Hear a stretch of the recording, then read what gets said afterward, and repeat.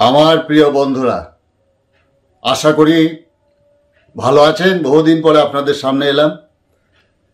আপনাদের একটা প্রশ্ন বারবার আমাকে দোলা দিচ্ছে, সেটা হচ্ছে, ম্যাক্সিমাম মানুষের লিভারের দোষ। আর লিভারই হচ্ছে শরীরের মূল শক্তির ধারক বাহক। এই শক্তি কোথা থেকে আসছে? আমরা কি খাচ্ছি? সেই খাদ্য থেকে কিন্তু শক্তিটা দেহের ভিতর আসছে, সেই খাদ্যে যদি কোনো রকম বিষক্রিয়া হয় বা টক্সিন সেই টক্সিনটা লিভার এবং কিডনির দ্বারা সেটা পরিশোধিত হয়ে পেচ্ছাপের দ্বার দিয়ে বেরিয়ে যাচ্ছে। এখানে লিভারের শক্তি বৃদ্ধি করার জন্যে আপনারা হয়তো ইউটিউবে অনেক কিছু দেখেন। যেমন নিম পাতা কেউ বলছে, কেউ চিরতা খেতে বলছে, কেউ হেলঞ্চার পাতার রস খেতে বলছে, কেউ আপনার থানকুনি পাতার রস খেতে বলছে। কেউ হলুদ, কেউ বলছে রসুন। এরকম বহু কিছু কিন্তু ভিডিও আপনারা দেখছেন। কিন্তু এই যে শক্তিগুলো কে ধরে রাখবে? এখন দেখা গেল যে যে ব্যক্তি খাচ্ছে, সেই খাদ্যগুলো খাচ্ছে। আবার কোথায় দেখা যাচ্ছে যে কাঠবাদাম খেতে বলছে। প্রত্যেকটি খাদ্য যিনি গ্রহণ করবেন তার যদি পেটের দুর্বলতা থাকে বা হজম শক্তি যদি দুর্বলতা থাকে, তাহলে কিন্তু সেই সব খাদ্যগুলো খেয়ে কিন্তু শরীর ধরে রাখতে পারবে না বা লিভার ধরে রাখতে পারবে না। এখন মানুষ বেশিরভাগই দেখা যাচ্ছে কি, আধুনিক খাদ্যের প্রতি আসক্তি বেশি। বিশেষ করে এই শহর ভিত্তিক মানুষের রোগশোক কিন্তু বেশি।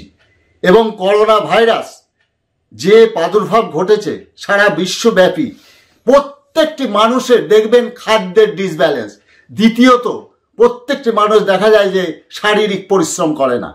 শারীরিক পরিশ্রম করলে হয় কি? যে আমরা রিচ খাদ্য বা তৈলাক্ত খাদ্য যেগুলো খাচ্ছি, সেটা শরীরের হজম করতে প্রচণ্ড পরিশ্রম হয়। বিশেষ করে লিভারের পর এবং প্র্যাঙ্কিয়াসের পর। এইগুলো আমাদের যে আস্তে আস্তে যে টক্সিনগুলো শরীর থেকে বের হতে পারে না তার জন্য হয় কি, পানি আমরা সঠিকভাবে গ্রহণ করছি না।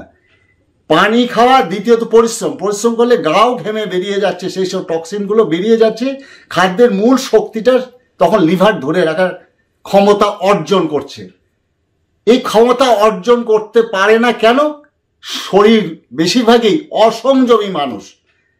সংযম নাই খাদ্যের প্রতি। দেখা যায় যে অত্যাধিক তেলে ভাজা খাচ্ছে। এই যে আমরা যে সময় ভিডিওটা করছি এখন কিন্তু রোজার মাস। রোজার মাস রোজদার কিন্তু বহুক্ষণ না খেয়ে থাকছে। না খেয়ে থাকার ফলে কিন্তু তার মানসিক শক্তি বৃদ্ধি করছে। এই শক্তিটা কি জন্যে বৃদ্ধি হচ্ছে? ওই যে লিভার। তার লিভারের শক্তিটা কিন্তু বেশি। তা লিভার সেই শক্তিটা ধরে রাখছে এবং সে না খাওয়ার ফলে সেখান থেকে শরীর সারাদিনে কিন্তু শক্তিটা, সঞ্চয়িত শক্তিটা সারা শরীরে সাপ্লাই হচ্ছে। সেই সময়টা কিন্তু অতিবাহিত করতে পারছে। আল্লাহর বান্দা সঠিক পথে অগ্রসর হতে পারছে। তার মানসিক শক্তি, শারীরিক শক্তি বৃদ্ধি পাচ্ছে। এই যে ব্যাপার, এখানে কিন্তু অনেক বিজ্ঞান আছে। আধুনিক বিজ্ঞান এর কাছে মার খাচ্ছে। তাই না? তা আধুনিক স্টাইলে যে খাদ্যগুলো আমরা খাচ্ছি, এই যে বার্গার, কোল্ড ড্রিঙ্কস, এগুলো প্রত্যেকটি বিষাক্ত খাদ্য।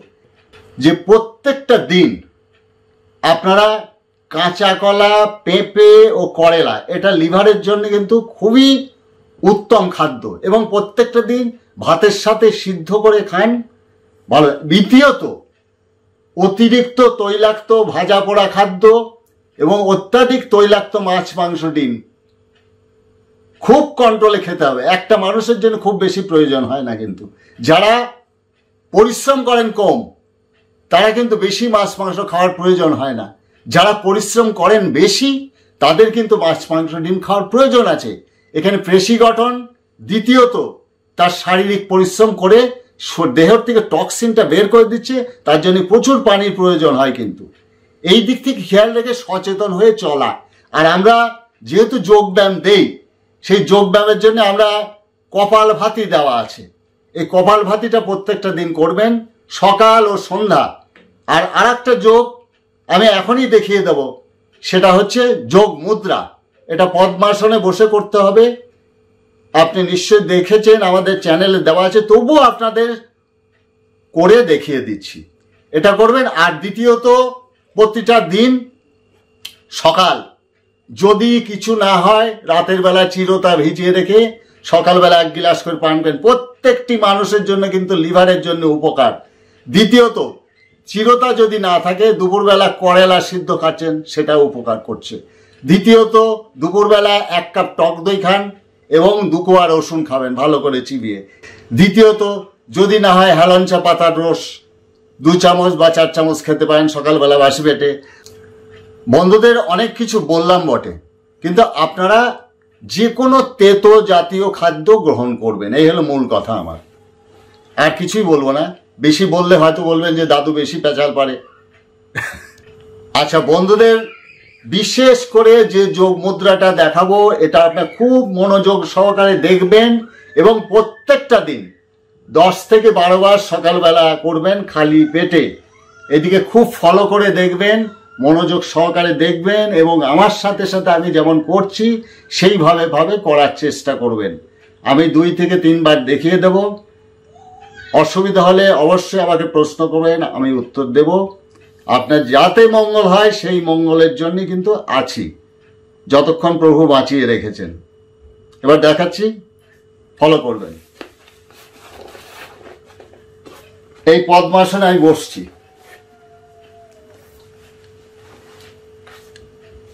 তো বন্ধু- বন্ধুদের জন্য আমি যে যোগ মুদ্রাটি করে দেখাবো, খুব ফলো করে দেখবেন। এই যে পদ্মাসনে এটা বসেছি। এই পদ্মাসনে বসে এই বাঁ হাত দিয়ে ডান হাতটা চেপে ধরা। প্রত্যেকটা দিন সকালবেলা আপনাদের করতে হবে দশ থেকে বারো বার। সরাসরি বুকটাকে টান করে, নিঃশ্বাসটাকে সম্পূর্ণ ত্যাগ করে দিয়ে, তারপর ধীরে ধীরে কপালটা মাটিতে ফ্লোরে ছোঁয়ানো। যতক্ষণ দম আটকে থাকতে পারেন আবার ধীরে ধীরে নিঃশ্বাসটাকে নিয়ে আবার উপরের দিকে ওঠা। আমি শুরু করছি নিঃশ্বাসটা ত্যাগ করে।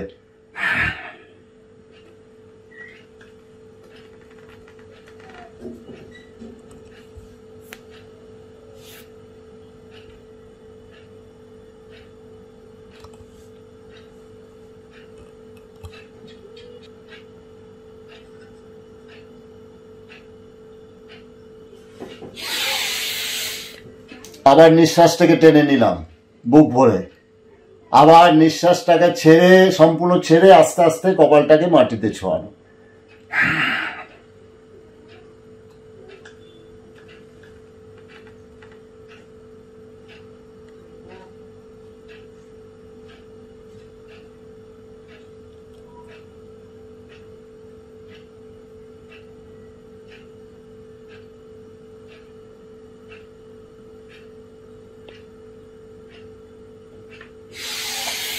প্রত্যেকটি বার শ্বাস ত্যাগ করে কপালটা মাটিতে ছোঁয়ানো, সেই সময় দমটা বন্ধ থাকবে সম্পূর্ণভাবে। দম বন্ধ থাকলে লিভারের উপর একটা চাপ পড়বে, তখন লিভারের শক্তিটা বৃদ্ধি পাবে, ওখানে রক্ত চলাচল বৃদ্ধি হবে। রক্ত চলাচল বৃদ্ধি হওয়ার ফলে মানসিক শক্তি বৃদ্ধি পাবে, হার্টের শক্তি বৃদ্ধি পাবে এবং পেটের শক্তি, হজম শক্তি বৃদ্ধি পাবে কিন্তু। আমি আর একবার দেখাচ্ছি বুক নিঃশ্বাস প্রথমে টেনে নেব তারপর ছাড়বো।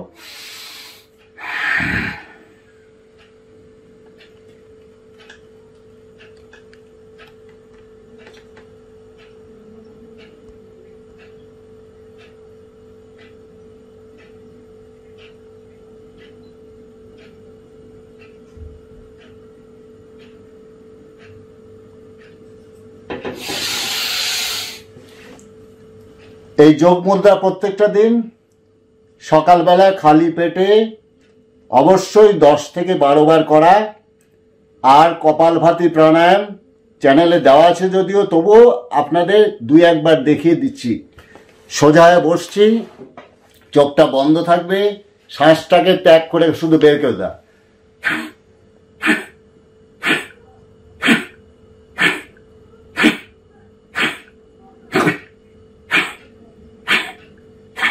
এইভাবে কপালভাতিটা তিন থেকে পাঁচ মিনিট প্রত্যেকটা দিন ধীরে ধীরে অভ্যাস করবেন। অবশ্যই লিভারের শক্তি বৃদ্ধি পাবেই পাবে। ভালো থাকবেন।